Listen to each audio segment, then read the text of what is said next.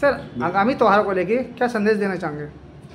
देखिए, आगामी जो हमारी पंद्रह अगस्त जा रही है और हमारा उधर रक्षाबंधन भी है, ऐसे में जो लोग, अवैध शराब बनाने वाले लोग सक्रिय हो जाते हैं। वैसे तो हमारा प्रवर्तन कार्य चल रहा है, लेकिन मैं सर्वसाधारण से अपील करना चाहता हूँ कि कोई भी व्यक्ति अवैध अड्डों से या अवैध जगहों से शराब खरीद के न पिए, अपरिचित लोगों से शराब खरीद के न पिए। यह शराब जहरीली हो सकती है। इसमें मिथाइल एल्कोहल मिला हुआ हो सकता है। मिथाइल एल्कोहल घातक विषय है, जो कि इसके अल्प मास सेवन से व्यक्ति की मृत्यु भी हो सकती है। तो मेरा, मेरी ये पुनः अपील है कि कोई भी व्यक्ति अवैध अड्डों से, अवैध व्यक्ति से, अवैध अपरिचित व्यक्ति से खरीद शराब जो खरीद के न पिए और अपना खुशी से ये आने वाले त्यौहार मनाएँ।